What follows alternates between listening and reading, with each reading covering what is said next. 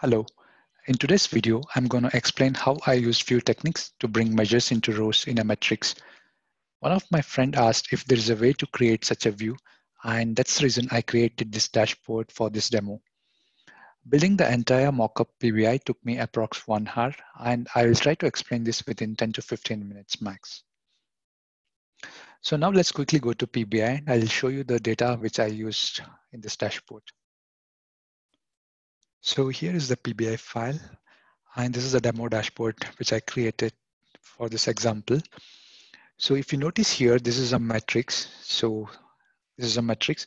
And if you notice here, I have the measure name in the rows, right? Ideally, when you try to drag and drop a measure, let's say I have a measure, if you try to drop it here, it doesn't work because it's a measure. So I use some techniques or tricks, I would say, to bring in, uh, to visually show it like a measure. So I'll explain you step by step how I did this. Okay, so the first requirement was to have the measures in the rows here and all the values here. Okay, and also the requirement was to have the current week data, current week what's the numbers, and the previous four weeks numbers here, and also the target for the current week and the trend. So whenever uh, the current week is greater than the previous week, it's uptrend, and if it's vice versa, that's a downtrend. So first let's go to the data and look at the data used for this dashboard. So first let's go to the fact table. So in this fact table, I have the dates, which is in the date format and the business segment. We have uh, two segments, laptops and smartphones, okay? And this is the numerator and the denominator to calculate uh, some of the measures, uh, we need to divide this by numerator, numerator divided by denominator. And this is the week number. So this is a function here. So if you look here, week number is equal to week num fact date. So using the date, I was able to calculate the week number. Okay, this is my first data set.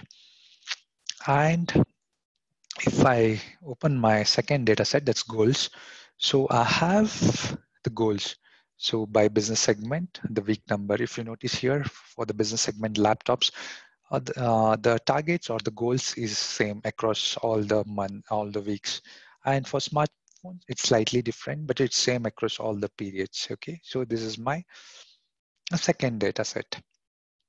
And and third thing is I created the, so uh, once you import these two data, that's a fact and goals, Third thing is I created something called measure table.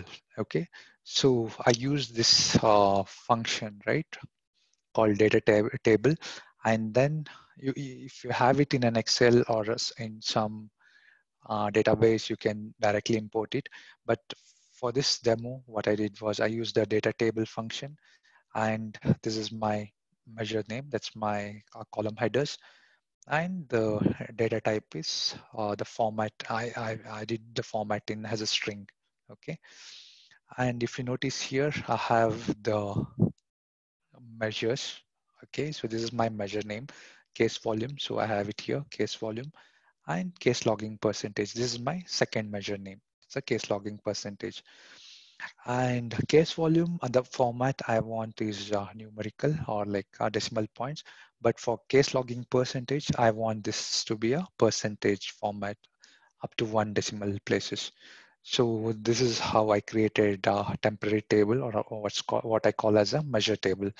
So it's up to you if you want to, you can use this kind of uh, create a data table function and create a new table. So the people who doesn't know how to create a data table, I have a separate video on that.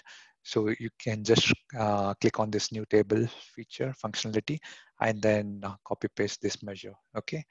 So, so this is my uh, measure table. So once I created this uh, measure table, so what I did was I went back to my report here and then I create I, uh, I created my metric. Okay, so if you notice here, I have this metric. So this is the only metric I used in this fact table. So to create a matrix, if I open this metric, you notice here, uh, I use the switch function. If this particular condition is true, let's look what it does. So selected value function. So what it does, it will check what is selected. So measure table is my dummy table which I created for the measures. Okay, so let me go back here. Is equal to case logging percentage. So it's gonna check. Okay, so the measure name is is case logging percentage.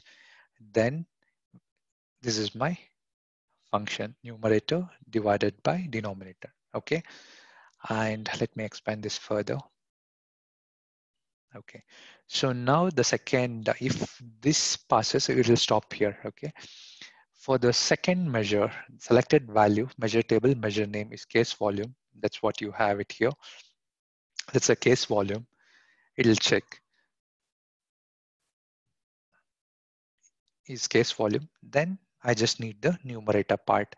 And I did the distinct count of fact week number because I need the average, okay? the four week average.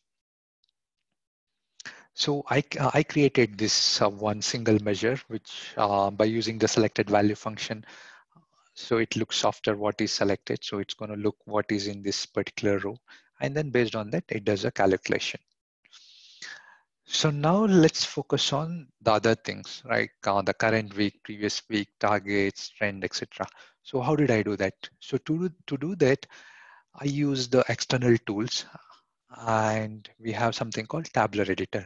So I have created a video on how to use this tabular editor, how to download and use this tabular editor. And also there is one more video on how to use a calculated group function. If you haven't watched it, please check out my previous videos. So click on this tabular editor. So when once you click on this tabular editor, it opens up a new window. Let's do that. So as you can see, it, I have a new uh, window open here. And if you look here, uh, if you expand this folder tables, so I have created a calculation group, okay? So for the people who doesn't know how to create a calculation group, I have created a separate video. Please check out that.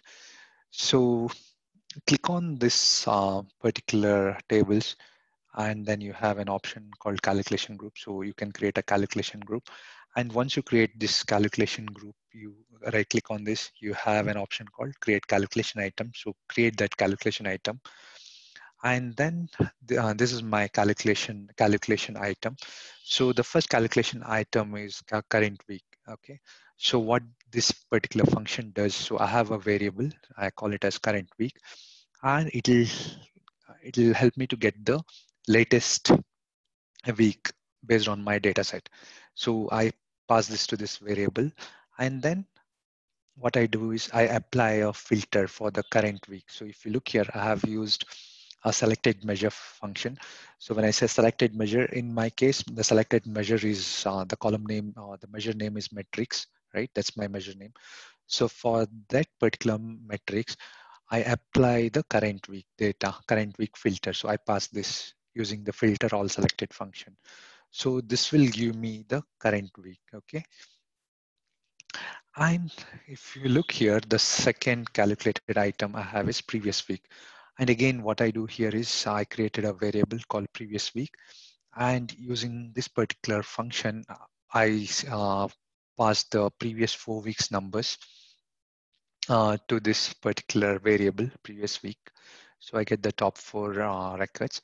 And then once I have this information in this previous week, I pass on to this particular selected measure. So in, in our example, again, it's a metrics. That's my measure name. And I pass using this particular function using a filter and I pass this to my week number, okay? So that's the second step, what I do. And then I have one more thing that's called trend. So again, I want to compare uh, the current week with the previous week. And based on if, let's say the current week is more than my previous four weeks average, then it's an uptrend, right?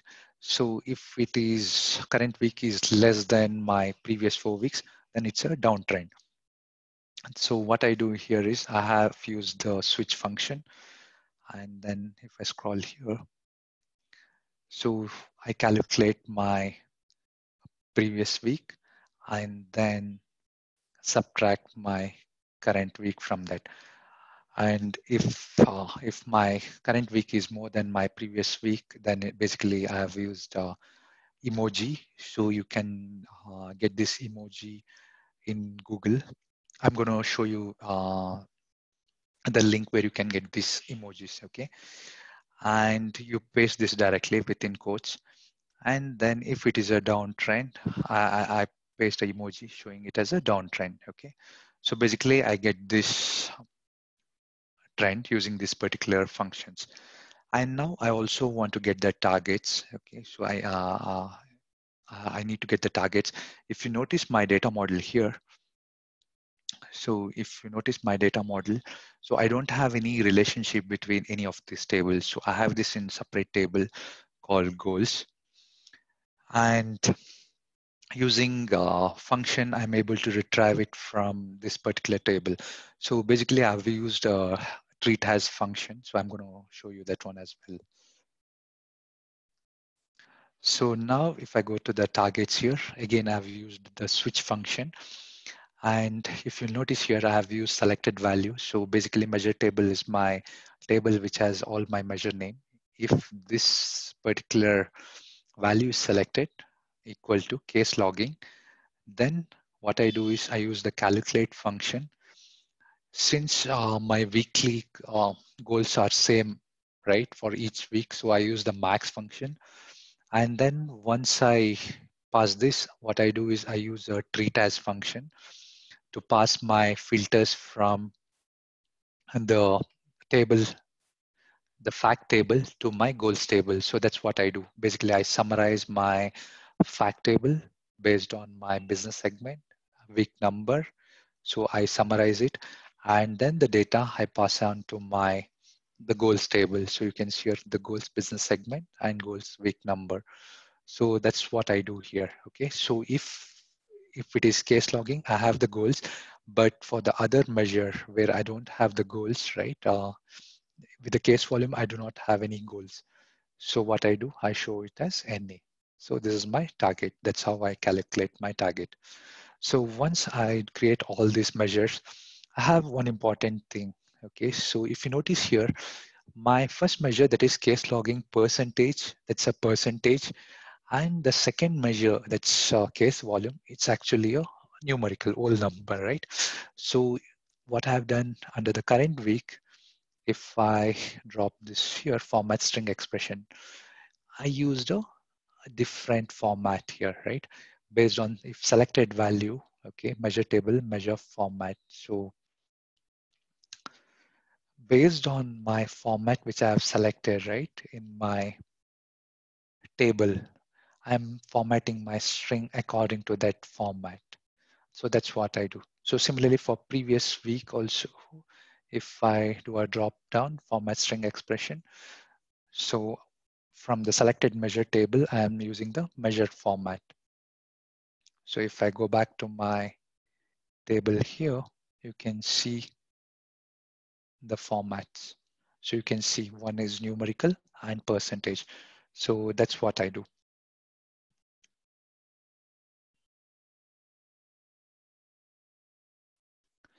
So once I created all these uh, uh, calculated items in my calculated group, so the next task is pretty simple. Save this one and go back to your report here. And then if I select my metrics here, so I have the measure name coming from measure table, which is into the rows. And the business segment is coming from this table, the fact table. And the name, it's coming from my calculated group. So if you look here, my calculated group, I have brought this to the columns. And the metric I have placed under the values. So by doing this, I'm able to achieve this particular view. I know this is a little tricky, but I think uh, uh, if you practice a bit, I think it should be fairly simple as well. So only challenging part here is uh, creating a calculator item and bringing the goals into the right format and to the right values for that particular selected measures. I hope this video was helpful and if you have any questions, please drop me a note in the comment section And if you have anything, uh, something like challenging scenarios, uh, please drop me a note so that uh, I can see if it's interesting. I can create your create a video on that particular topic. Okay. And thanks for watching. And please don't forget to share with your friends or colleagues. And have a great day.